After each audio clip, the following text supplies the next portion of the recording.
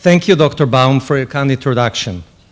Dean Spiegel, board members, alumni, faculty and students, class of 2020, family and friends. I'm honored to give the keynote address today at the White Coat ceremony of the class of 2020. This ceremony has a special personal significance to me since my son Nir will be receiving his white coat as a new medical student exactly a year from now. Members of the class of 2020, first and foremost, congratulations.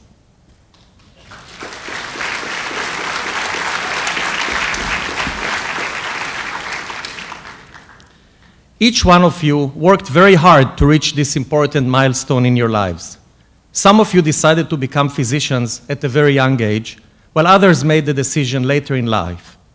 But you all share a common goal to dedicate your lives to healing people, to exploring and finding new treatments and cures, and to be strong advocates for our patients. I assume that now you may be confused and are asking yourselves, what does it mean to put on a white coat? By donning the white coat, you're becoming members of the medical team. However, wearing the white coat has a deeper meaning than simply being the universal medical uniform. When you're putting on the white coat, you're making a very special and deep personal commitment as you join the medical community. Indeed, medicine is not only a profession, it is a calling, a mission, and a commitment, total commitment to our patients, to our community, and to our society. As physicians, you will have two obligations a professional obligation and a moral obligation. And to fulfill these two commitments, you will be required to make sacrifices, putting your patient's health and best interests above your own interests and your family's priorities and interests. Remember, the practice of medicine carries with it a huge responsibility and requires sacrifices, but it is also the most rewarding, inspiring, and selfless profession, and you should be proud, very proud, for joining the community of medical professionals. In the coming years, you will learn the science and art of medicine from your professors, from your mentors, and from your own fellow students. But your most important teachers are going to be your patients. I believe that medicine is best taught by individual patient stories, and today I will share with you three of my patient stories that carry, carry with them important messages, especially for you as you enter the medical field. My first story is very relevant for today's occasion because it is the story of the first patient I ever took care of when I was a medical student at Sackler School of Medicine in Tel Aviv, Israel. This patient, whom I shall refer to as David, was a 70 year old Holocaust survivor that was admitted with a stroke. The right side of his body was completely paralyzed. During David's prolonged stay in the hospital, I used to meet with him every day and as our connection grew, I learned his life story. His entire family perished in the Holocaust, and he was the only survivor. His wife, whom he met when he came to Israel, was also a Holocaust survivor with no remaining relatives. They married and had an only son. About 10 years before I met David, his only son was killed in the Yom Kippur 1973 war, and about two years before I met David, his wife died of cancer. David was alone in the world with half his body paralyzed, lying in bed, being encouraged by the physical therapist to try to move his right arm and leg. One day, after about two weeks of daily meetings with David, I found him sitting in his chair very excited. Look, Yaron, he told me, I can walk. And he pushed himself with both arms, stood up, walked a few steps, and went back to his chair to rest. Isn't it wonderful? He said, all excited. Yes, it is, I replied. After I left David's room, I couldn't stop thinking about him. I was amazed how, after being hit by so many tragedies in his life, David still had the willpower and motivation to overcome his condition and push himself to walk another step. At that moment, I realized that David had taught me the most important lesson I learned in medical school never let your patients lose hope. With so many tragedies striking him, David's situation may have seemed hopeless. He lost his entire family, and now he lost movement in half his body. But David refused to give up. He may have hoped to walk his favorite street again, or to go to the coffee shop he and his wife used to frequent, or walk to temple on Saturdays to pray for the memory of his wife and fallen son. There were many things that he could have hoped for that motivated him to go through the grueling physical therapy to be able to walk again. But he never lost hope. As physicians, you will encounter many patients with conditions that require hope and motivation, and you will need to instill hope in your patients. Even when your patients will have conditions with no cure or remedy, you can never let your patients lose hope. I'm not talking about false hopes for a cure you know is impossible and unattainable. I'm talking about giving your patients hope about life itself. Hope that no matter how fragile, sick, and debilitated that they are, your patients' lives are precious. Precious to you as their lives are precious to them and their families. And you will do whatever you can to help them cope with their condition and alleviate their sufferings. Instilling hope is one of the most important commitments of a true healer, and this commitment has not changed over the years. Indeed, the goals and commitments of the medical profession are the same as they were 3,000 years ago. However, some aspects of medicine are changing, and I would like to address today the changes and rapid progress happening in medicine and healthcare and how they will affect you when you graduate. Scientific breakthroughs enable us today to cure diseases that had no treatment until just recently. In the past century alone, life expectancy in the US increased by 30 years due to progress in public health and new therapeutic modalities. And social progress is bringing us closer to a universal health coverage that will ensure complete equity in the utilization of medical resources to benefit all our patients. The scientific and technological changes are also affecting our patients. Indeed, our patients are changing. Mostly their expectations from us are much higher than in the past. Patients today are very savvy in obtaining information. They surf the web, they go online, they gather information about their conditions, as well as about their physicians and hospitals' quality metrics and as a result, they make much more informed decisions than in the past. Therefore, the physician of the 21st century is practicing medicine in a very different environment than in the past, taking care of much more informed, sometimes much more misinformed patients, assuming additional responsibilities in caring for communities and managing population health, and tackling much more complex moral dilemmas created by the rapid advances in science. So, how will the changing landscape of the medical profession affect you when you graduate? You will need to acquire new skill sets to practice medicine. The fund of knowledge you need to possess in order to practice medicine according to the latest scientific and clinical discoveries is way beyond the capacity of human memory. Therefore, you will need to become lifelong learners. The most important skill you will acquire in medical school is how to learn, how to expand your knowledge, and how to analyze, evaluate, and apply the vast amount of scientific data available to you into your day to day practice. However, you will not only learn from books, lectures, manuscripts, and online resources. Your most valuable resource for learning is your patients. And to learn from your patients, you will need to listen to them. In our fast paced world, many people feel they don't have enough time to listen to a human story. But in no other profession is listening more important than in medicine. Your patients will teach you more than any textbook or manuscript, and if you listen to them, they will make you better physicians. Even after more than 30 years of practicing medicine, my patients still teach me when I'm in the clinic or rounding in the hospital. Let me tell you another story of a patient to illustrate the importance of listening and learning from your patients. About 15 years ago, I saw a patient that I will call Rose. Rose had thyroid cancer. She had surgery and radiation and was doing well. Her follow up required a once a year blood test to check that her cancer did not recur. After many years of being cancer free, in one of her yearly testing, the blood test came back positive, indicating cancer recurrence. I broke the bad news to Rose and made preparations to treat her.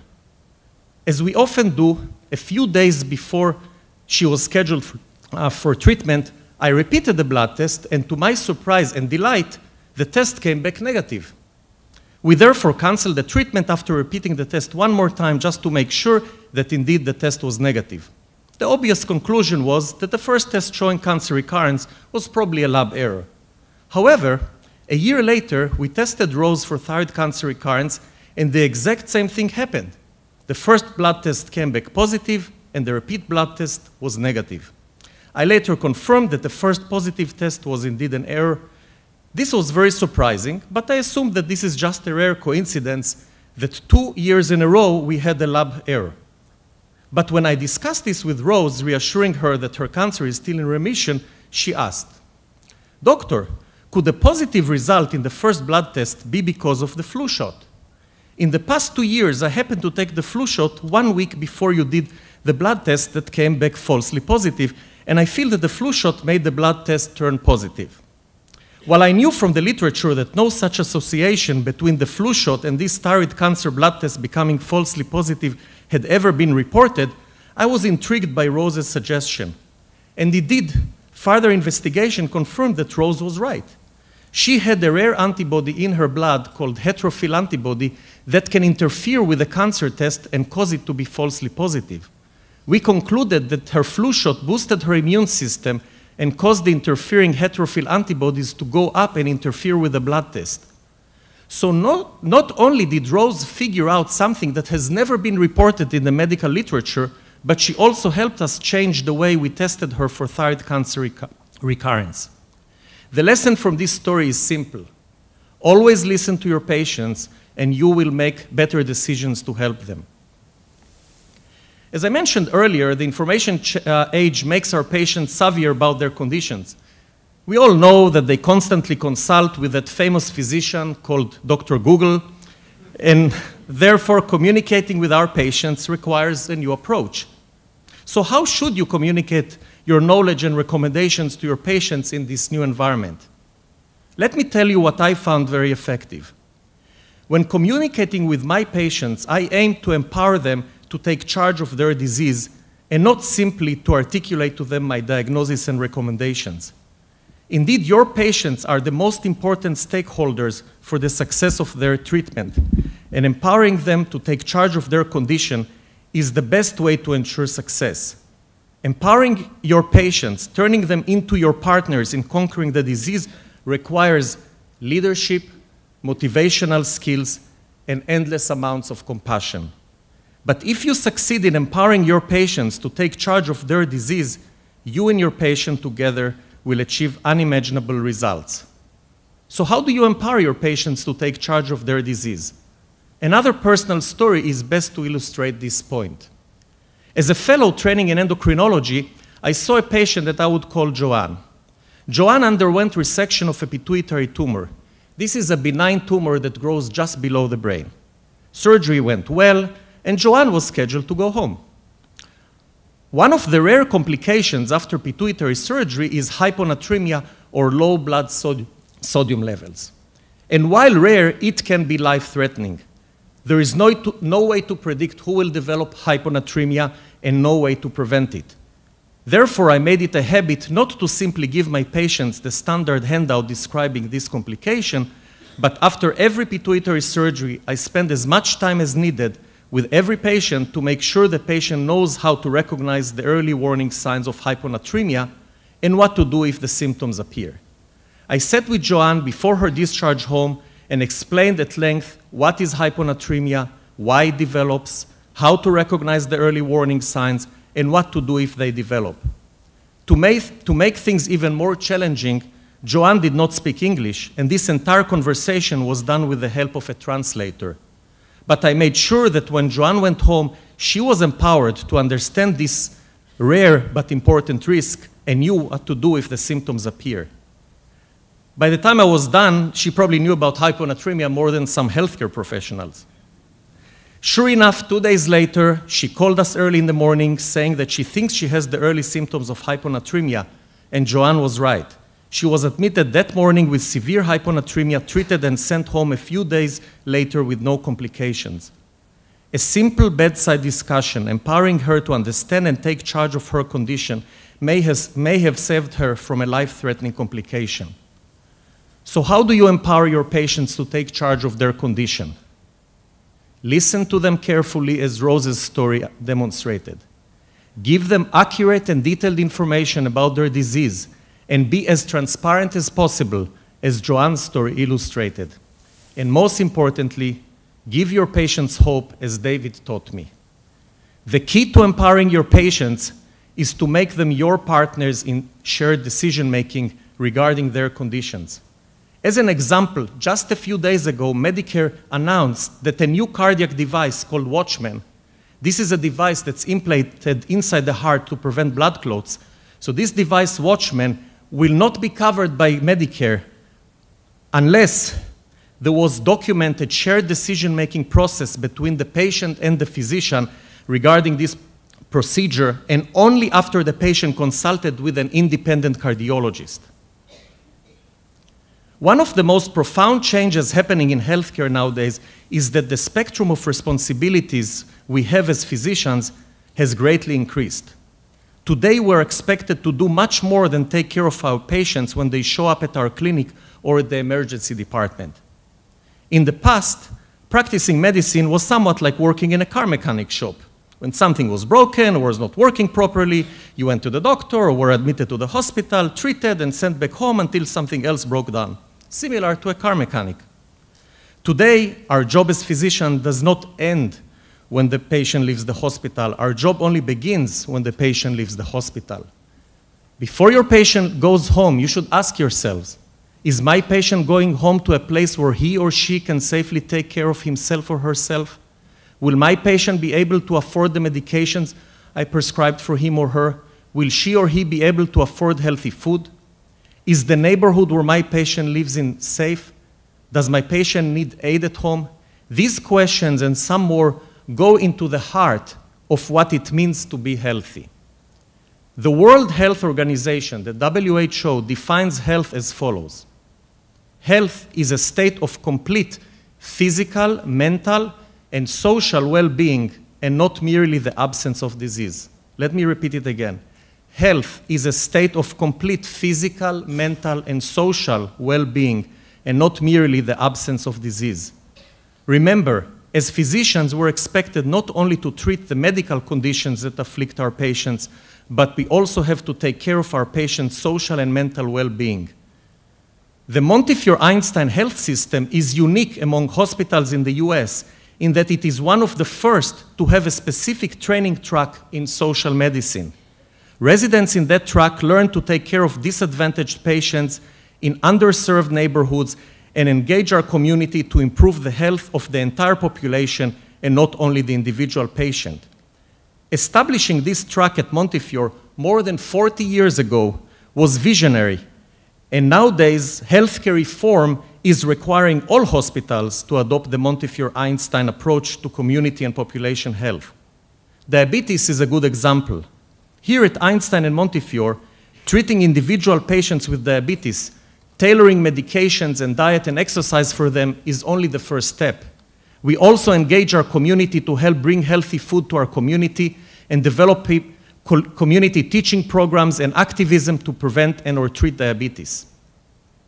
I believe that the hospitals of the future are those that are dedicated to serve their communities and not simply operate as high-tech tertiary care centers.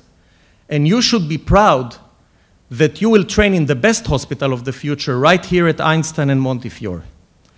Indeed, Einstein and Montefiore's outstanding unique bond to the Bronx community is for me one of their main attractions, and the success of Einstein and Montefiore's efforts to serve the Bronx community is very noticeable. I'm consistently struck by the high regard in which the people of the Bronx hold Einstein and Montefiore. A few years ago, the US News and World Report magazine featured Montefiore's groundbreaking programs to improve the health of the Bronx community. The US News article said, and I quote, Montefiore is pioneering a new model of healthcare delivery endorsed by the architects of health reform that promises to radically change the current fragmented system, end quote. The US News article illustrates perfectly our mission here at Einstein and Montefiore to practice holistic form of medicine, combining the care for the individual health with the care of the health of the community. This new approach to healthcare delivery requires both teamwork and leadership. And as physicians practicing in the 21st century, you will become leaders.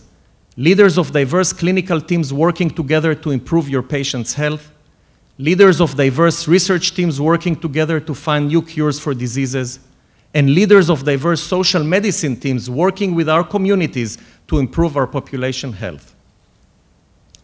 Before concluding, I want to say a few words to the parents, siblings, spouses, and other family members and friends of our students. The success of, our, of the students sitting here today would not be possible without the unlimited support you have been giving them. First, as you well know, is the financial support, the endless financial support that you have been giving your students. But much more important is the emotional and social support that you provide to our students. This love and support are vital for their continued success. Class of 2020, you are the future leaders of our profession, you're the future fighters for social justice, and you will definitely make the world a better place. Class of 2020, you're beginning a beautiful journey of intensive learning, hard work, self exploration, and discovery. You're joining the ranks of the most noble profession. Congratulations and thank you.